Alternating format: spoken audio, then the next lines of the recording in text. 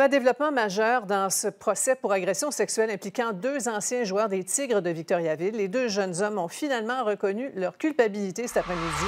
José, c'est un procès qui devait durer 11 euh, jours. Il a été beaucoup plus expéditif que prévu.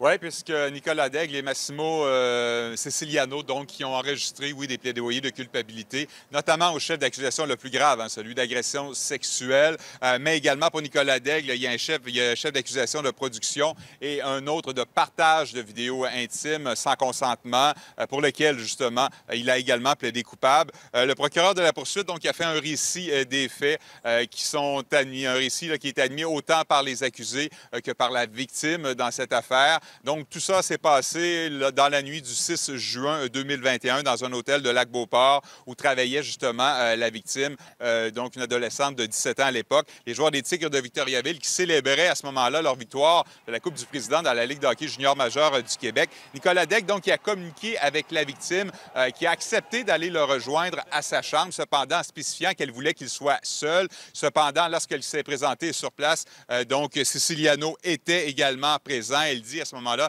qu'elle s'est sentie euh, forcée euh, d'accepter une relation sexuelle à trois. Donc, la notion de consentement était vraiment au cœur de ce procès qui finalement n'aura pas lieu.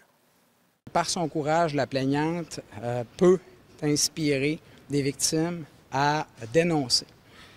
Peu importe le statut de l'agresseur, que ce soit un joueur de hockey bien connu qui a gagné une coupe ou peu importe de qui on parle, on invite toute victime à dénoncer. L'ensemble des faits qui ont été relatés devant le tribunal et qui ont été reconnus par les deux accusés démontrent clairement qu'il n'y a jamais eu consentement.